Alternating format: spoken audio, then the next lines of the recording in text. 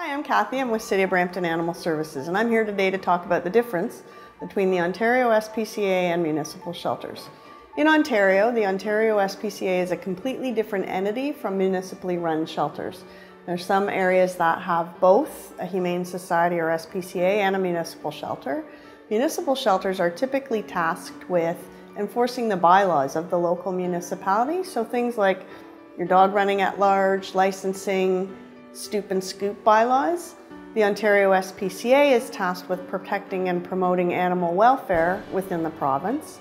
They have agents and inspectors, which are appointed under the Ontario SPCA Act, and that piece of legislation gives those people and local police officers the authority to act and, in some cases, seize animals. The difference being that municipal shelters and staff don't have the authorities provided under the Ontario SPCA Act, and so municipal shelter staff and rescue organizations don't have the authority to seize animals.